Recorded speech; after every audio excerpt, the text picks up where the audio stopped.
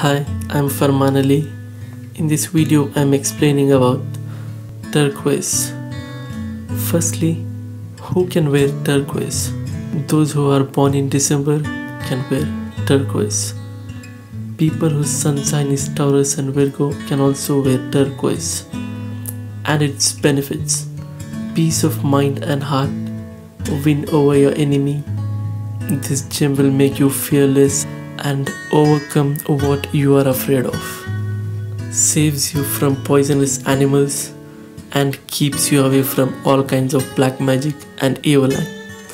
Helps you to gain knowledge and you will never starve if you wear this and recite Ya Razaq Ya Allah 27 times.